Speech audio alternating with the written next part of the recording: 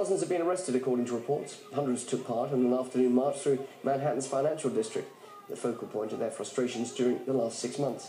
The majority of arrests occurred when protesters put up a tent which violates park rules.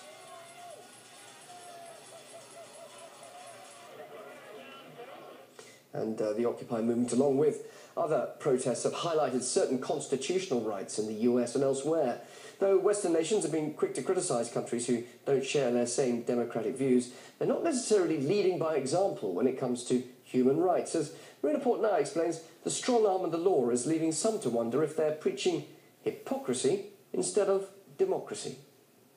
The US and its European allies have many things in common security, politics, and a familiar practice of scolding outsiders about the pillars of democracy. The Iranian people have a universal right to assembly and free speech. This is the increasing suppression of human rights and of democracy, and is a big step backwards for Iran. Democracy, rule of law, human rights, these are our values, and we believe these must be respected by the Egyptian authorities. In Russia, We've seen crackdowns on civil society groups. As Western leaders wag their finger around the world,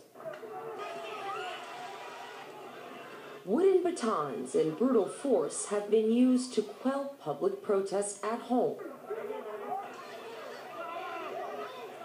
Riot police, handcuffs, and iron fists have repeatedly been used against unarmed demonstrators in Greece, Spain, and London where thousands fled the streets to protest against austerity measures and unemployment. They should focus on getting their own houses in order and practice what they preach rather than nosing about in other uh, countries and trying to, you know, grandstand on an international scale rather than deal with, uh, you know, their, their own very serious democratic deficit.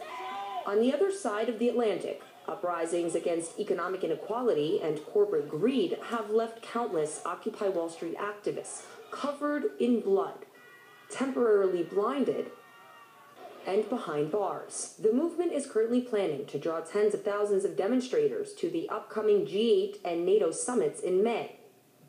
But this week, the U.S. military is unveiling its latest non lethal weapon to members of the press. It felt like opening up an oven door, almost mixed with a sting from about my sternum to my neck.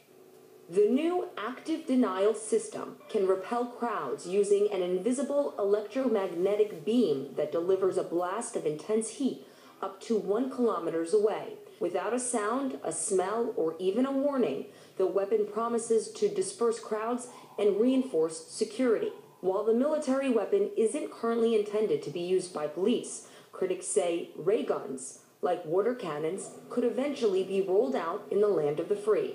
We're seeing an intensification of repression uh, because people are challenging the system. They're challenging it uh, in Europe, they're challenging it in the United States. And it's easy for our leaders to point the fingers somewhere else rather than take responsibility uh, here in America, do anything differently. Lecturing others on democracy and human rights has become a brand of Western foreign policy, a discourse that claims to be based on the highest of standards.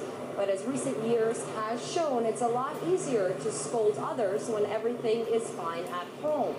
Mace protesters in Oakland or injured students in Europe might suggest that their leaders do a bit more homework before attempting to be a teacher of democracy. Marina Portnaya, RT, New York. Well, I'll be back uh, with this week's headlines in just a couple of minutes. Stay with us live here.